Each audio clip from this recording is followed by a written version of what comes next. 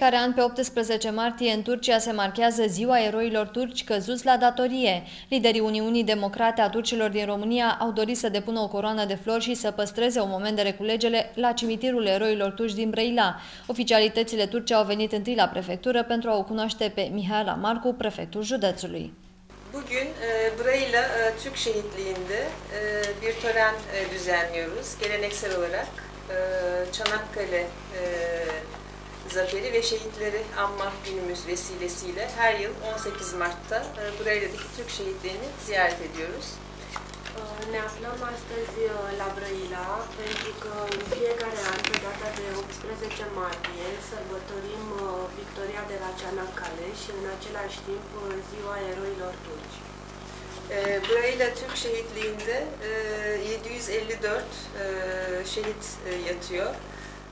La cimitirul eroilor turci din Brăila se află un număr de 754 de eroi căzuți în timpul primului război mondial pe fronturile din uh, această parte a lumii.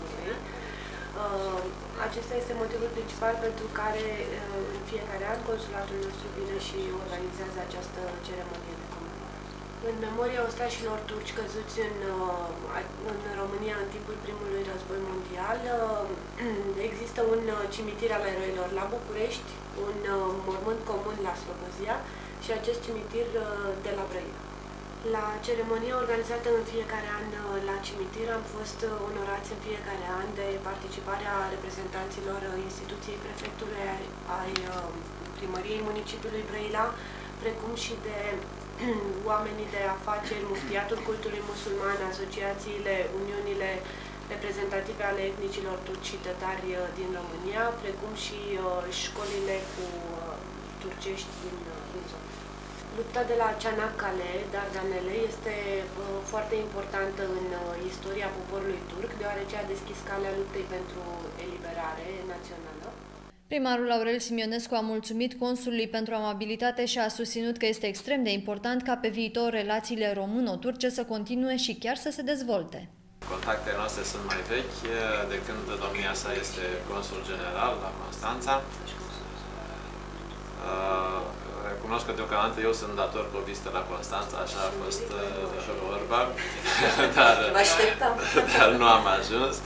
Am avut uh, mai multe discuții și vis-a-vis -vis de relațiile noastre cu cei de la Bursa și de câte ori um, cei din Brăila au plecat acolo pentru că uh, se duc cu mai mulți copii la Festivalul Tineretului de la Bursa și atunci ne trebuie diverse documente cu care ei să ajungă.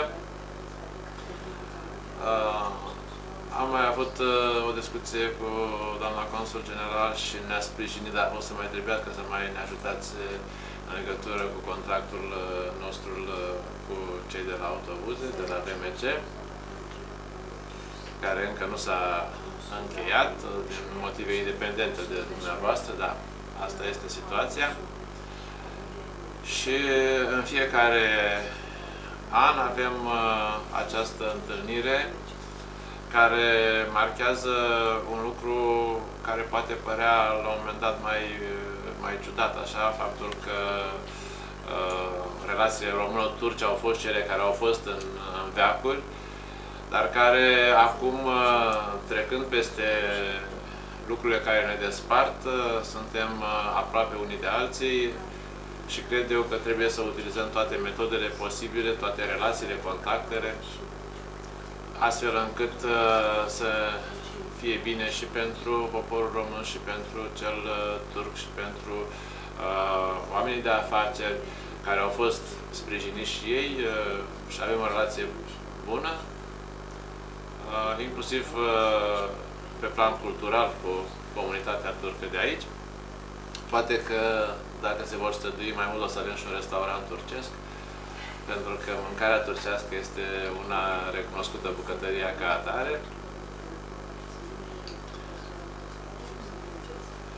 au avut, uh, au avut așa o încercare, dar uh, nu s-a, nu s-a extins.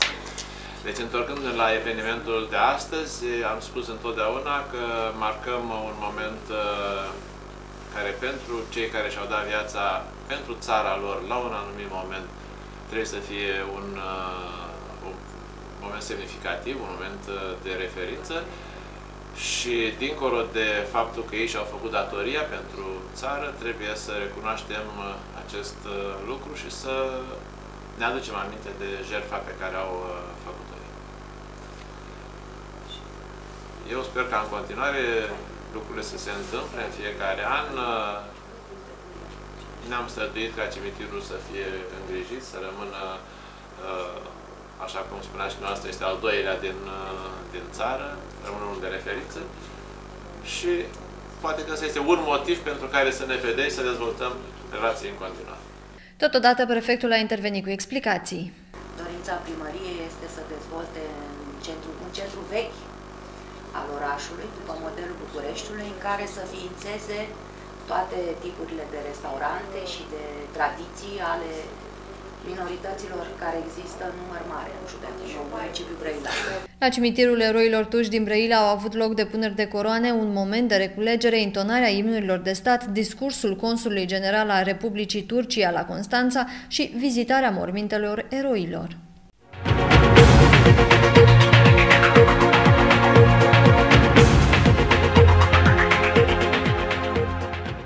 Silierul este acea persoană fizică ce are capacitate de muncă și care desfășoară activități necalificate cu caracter ocazional pentru un beneficiar, fie cetățen român, fie străin. Durata zilnică de executare a activității unui zilier nu poate depăși 12 ore, respectiv 6 ore pentru lucrătorii minori care au capacitate de muncă. Pentru un număr mai mic de ore de activitate, plata zilierului se va face pentru echivalentul a cel puțin 8 ore de muncă. Cunoaștem cu toții că există o lege, legea 52 din aprilie 2011, care, prin excepție de la Codul Muncii, stabilește că activitatea în, în țara noastră se poate efectua și cu zilieri. Lucrările sezoniere, lucrările ocazionale pot fi efectuate cu, cu astfel de persoane denumite zilieri și care au, să zic în principal, uh, calitatea că efectuează, participă la lucrări necalificate efectuate în uh, în beneficiul unui beneficiar, să zicem așa, uh, de pe munca lor. Silierul în sine este, uh, trebuie să aibă cel puțin 16 ani și să aibă capacitate de muncă, ca să zicem așa. Iar uh, statutul lui nu este acela de angajat, deci între el și, și beneficiar nu intervine un contract de muncă, el nu are calitatea de, de asigurat în sistemul public de pensii, în sistemul de asigurări sociale sau în sistemul de șomaj.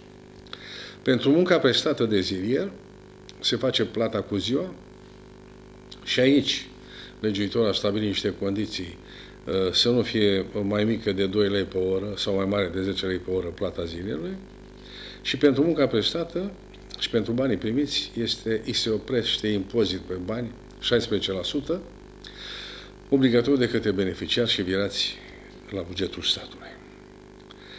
Alte condiții uh, impuse pentru zile ar fi ca aceștia să nu depășească 90 de zile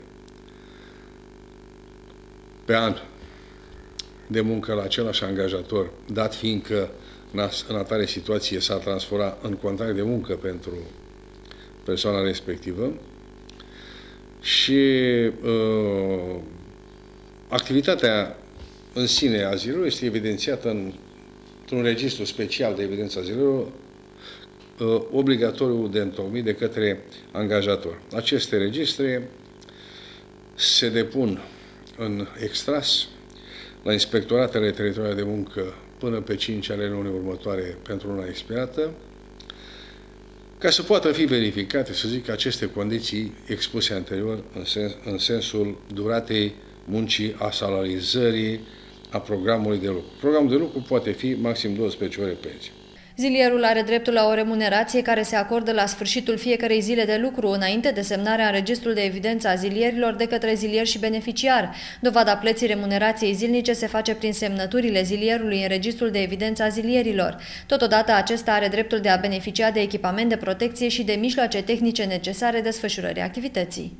Această soluție, să zicem, de, de muncă cu ziua, vine și rezolvă destul de multe uh, probleme în activități precum agricultură, zootehnie, pescuit, vânătoare, lucrări de încărcări, descărcări materiale, în, și în agricultură include și legumicultură și pomicultură și mai multe domenii. De la apariția legii din anul 2011 până în prezent, în județul Brăila, au fost achiziționate registre de câte 344 de beneficiari, să zicem, de activități ale zilelor. Au fost depuse extrase peste 250 la Inspectoratul Teritorial de Muncă Brăila, iar ca poziții înscrise în registrele prezentate de către uh, angajatori, în anul 2011 au fost 114.000 de în, uh, poziții înscrise în uh, registrul de zilieri, ceea ce corespund cam la vreo 6500 de oameni, de persoane, iar în anul 2012 uh, numărul uh, pozițiilor înscrise în registre de zilieri a fost de 136.000, ceea ce a corespuns la aproximativ 9.000 de persoane ce au lucrat în regim de zilier în anul 2012. Uh, în, de la 1 ianuarie 2000 13 și până în prezent au fost uh, depuse înscrisuri cu 10.000 de poziții de zilieri, ceea ce corespunde aproximativ 3.000 de oameni. Unde s-au regăsit aceste persoane? Uh, în, în agricultură peste 99.500 de poziții, în uh, vânătoare aproximativ 4.000, în silvicultură peste 16.500, în uh, uh, pomicultură, viticultură peste 10.300, în manipulare de mărfuri peste 3.200, în întreținere curățenie peste 2.500, în zootehnie peste 1.800. Fac precizarea că aceste poziții înscrisuri în registre nu înseamnă număr de persoane, numărul de persoane sunt cele specificate de mine, deci aproximativ 9.000 în anul în 2012 și aproximativ 6.500 în anul 2011. Încălcarea dispozițiilor legale privind durata timpului de muncă și nerespectarea cuantumului privind remunerația zilnică se sancționează cu amendă. Încălcarea obligațiilor de înființare, completare, prezentare pentru organele de control a Registrului de Evidență a Zilierilor, asigurarea instruirii și a echipamentului de lucru a zilierului, înregistrarea cronologică în Registrul Azilierilor, netransmiterea lunară la Inspectoratul Teritorial de Muncă a unui extras din registru până cel târziu la data de 5 a fiecărei luni pentru luna precedentă se sancționează de asemenea cu amendă amendă. Neplata impozitului pe venit se sancționează cu amendă și se interzice utilizarea zilierilor pe toată durata de existență a beneficiarului.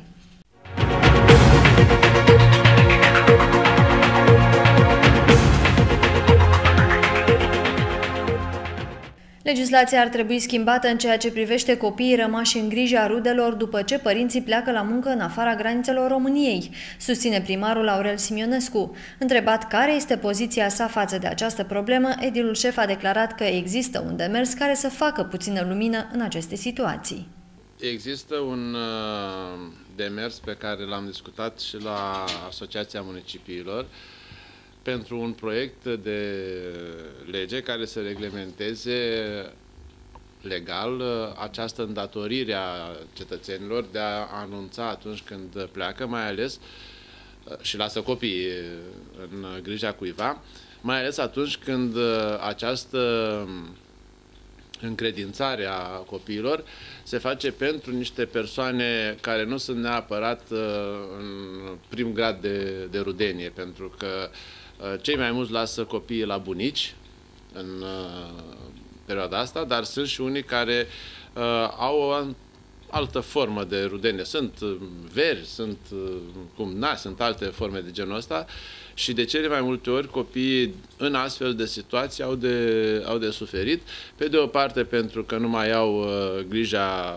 familiei respective, pe de altă parte pentru că cei în grija cărora sunt lăsați au reținere în uh, a, știu, a aplica diverse constrângeri, a avea uh, mai, o atitudine mai uh, dură, să spunem, față de ei, pentru că nu sunt copii lor și atunci au o astfel de, de formă de, de reținere, să spunem așa. Deci există un astfel de demers. În momentul acesta nu există neapărat o formulă prin care persoanele respective, dacă lasă copiii în grija cuiva, să fie monitorizați, să, fie, să se poate interveni din partea autorității locale. Intervenția noastră se poate face doar atunci când copiii respectivi creează niște probleme și atunci se duce autoritatea la el și îl vede unde stă, de ce stă, cine a avut grijă de el și așa mai departe. Conform evidențelor Direcției Generale de Asistență Socială și Protecția Copilului Brăila, anul trecut au beneficiat de măsura de protecție specială 162 de copii ai căror părinți au plecat la muncă în străinătate. Din datele primite de direcție de la primăriile din județ, 301 copii au părinți plecați la muncă în afara României, aceștia fiind însă îngrijiți de membrii familiilor extinse fără a beneficia de măsura de protecție specială. Există o, o astfel de, de formulă de anunț uh, și obligatorie, pentru că inclusiv din punct de vedere cetățenesc, ai părăsit, nu mai ești acolo, trebuie să ai o astfel de formă. Dar faptul că acel copil este în grija cuiva, a bunicilor, a, știu a rudelor, care nu creează niciun fel de obligație după aceea, în sensul ca autoritatea să-l urmărească dacă este bine îngrijit, dacă este, știu eu, într-o formă de aceasta. E adevărat că și în multe familii supravegherea și uh, modul în care se comportă copiii uh, nu sunt tocmai cele mai bune. Sunt familii care vin la școală și se spun să aibă grijă de școală că eu nu mai am ce să-i fac. De cele mai multe ori uh, acest tip de anunț se face uh, la școală, uh, într-un fel oarecare, știți, noi o să plecăm, dar nu la modul uh, oficializat, să spunem uh, așa. În municipiul Brăila, serviciile de îngrijire de zi private acreditate sunt oferite de centrul de zi Surorile Clarisa ale Sfântului Sacrament, cu o capacitate de 12 locuri și centrul de zi Darius cu o capacitate de 40 de locuri. În județ, serviciile de îngrijire de zi aflate în subordinea consiliilor locale sunt oferite de centrele de zi din Făurei, în Surăței, Movila Miresii, Bărăganu, Măxinen și Brăila cu o capacitate de 15-20 de locuri maxim.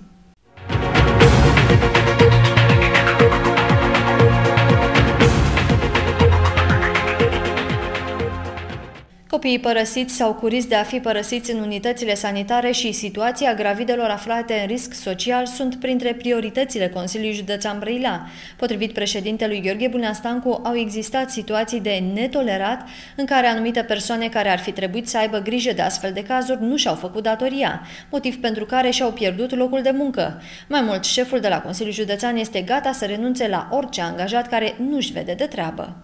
Aici va trebui să facem noi o intervenție, că am avut un caz care probabil că l-ați văzut și pe televiziune cu asistență socială care trebuia să facă exact lucrul ăsta în spital, atunci când veneau copiii abandonați, să ia legătura la protecția copilului, să facă ce trebuia făcut. Și ea juca pe care era pe calculator.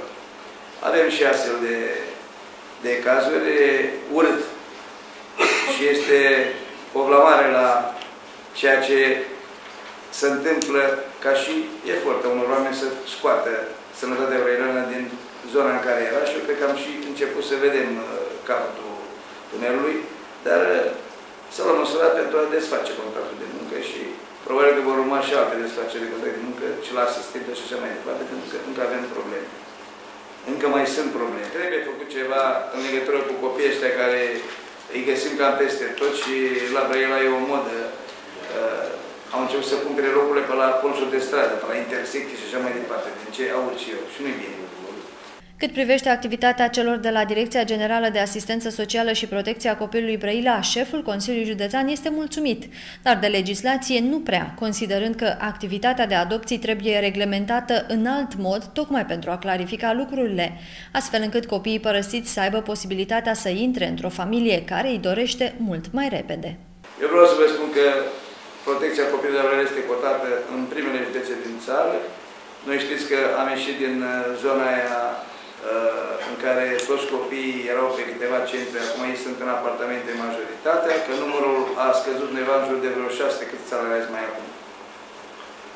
650, în care 97 posturi uh, vacante, neocupate Deci noi discutăm cam de 550 și am plecat de la 1200-1300, mi-am aminte când am venit eu președinte și probabil că știți că nici l-am mai angajat și exact ca și la spital, mergem și pe cale naturală și am fost și pe disponibilizări. Încă activitatea nu este reglementată cu adopție la voi așa cum trebuie și din acest sunt mari interese probabil, dar nu la nivelul nostru. Declarațiile au fost făcute la ultima ședință ordinară de Consiliu Județean care a avut loc.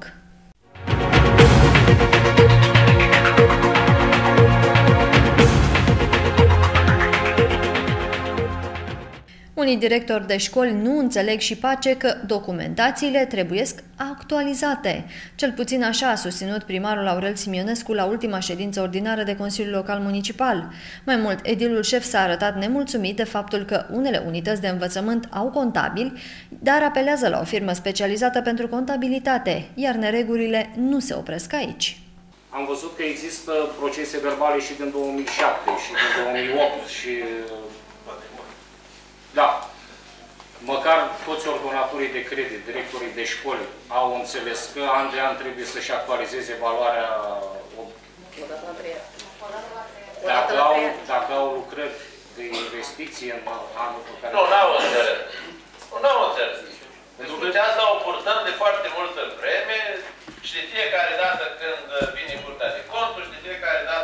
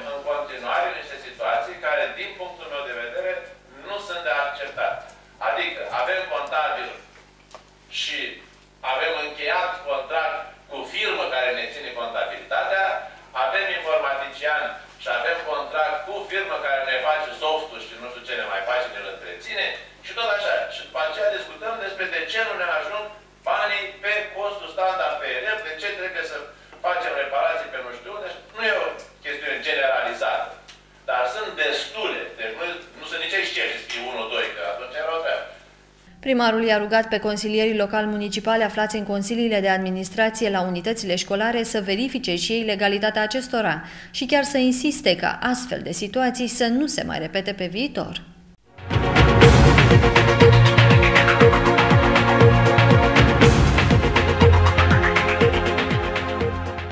Este de bine și nu este de rău, susține președintele Consiliului Județean Brăila Gheorghe Bunăstancu atunci când vine vorba de noua funcție pe care o ocupă în cadrul Uniunii Naționale a Consiliilor Județene din România, și anume cea de secretar. Potrivit acestuia, unii dintre colegii săi au susținut chiar și că ar fi trebuit să candideze ca președinte, dar Gheorghe Bunăstancu a refuzat motivând că nu are timp pentru o funcție atât de importantă. Nu mi-am dorit-o, au fost mai multe variante, Uh, una dintre ele este că multă lume a dorit să candidez pentru președinte și n-am vrut să candidez pentru președinte, că n-am timp, nu că poate, eu știu, era un lucru benefic pentru Brăila, dar trebuie să ai și timpul necesar, cu toate că și funcția de secretar general, care este a doua funcție în UNCGR, îți ocupă destul de mult uh, timp, pentru că va trebui să merg la majoritatea negocierilor care sunt la nivel național, cele pe regionalizare în primul rând, că trebuie să mergem să discutăm ca structură asociativă cu guvernul despre ceea ce înseamnă administrație publică locală, că pe ei reprezentăm la urma urmei.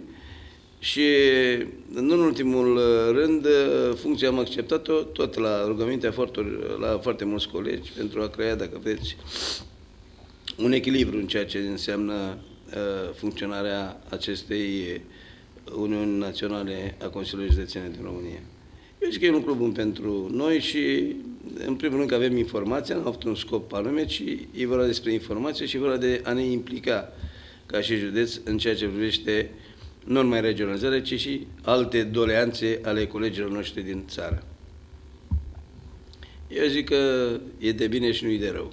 În același timp, acesta a precizat că Uniunea Națională a Consiliilor Județene este extrem de importantă și că astfel se pot susține multe proiecte de interes pentru Consiliile Județene din România.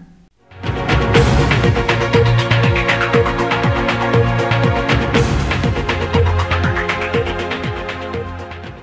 Echipa lui Costel Roșu a eliminat-o pe CF Brăila din Cupa României. Aceeași formație s-a impus cu 3 la 2 sâmbătă. În minutul 24, Ibrain a centrat, Adrian Mihalcea a reluat mingea cu capul în plasa porții lui Bunduc și Unirea Slobozia a trecut în avantaj. Bucuria gazdelor nu a ținut însă decât 4 minute, pentru că după un corner executat de pungă, capitanul oaspeților Gabriel Bosoi a egalat tot după o reluare cu capul, care a făcut inutilă intervenția lui Dobre și partida era relansată. Egal Egalitatea a persistat însă până în minutul 53 al reprizei secunde. Atunci gazdele au beneficiat de o lovitură liberă. Ex-brăileanul Costel Roșu a centrat în careul oaspeților și Soare a reușit să câștige duelul aerian cu fundașii central brăilen și să-și readucă echipa în avantaj. După două minute, Gheorghe și Toma au țintit bara în aceeași fază, astfel că tabela nu s-a modificat. Unirea Slobozia a reușit însă să se distanțeze la două lungimi în minutul 78, când Toma a luat o acțiune pe cont propriu, a pătruns pe partea stângă în careul Brăilean și a marcat pentru 3 la 1. Elevii lui Pânzaru au insistat mai mult în atac, însă nu au reușit decât să reducă din diferență în cel de-al doilea minut al prelungirilor prin Bosoi, astfel că au suferit prima înfrângere din retur.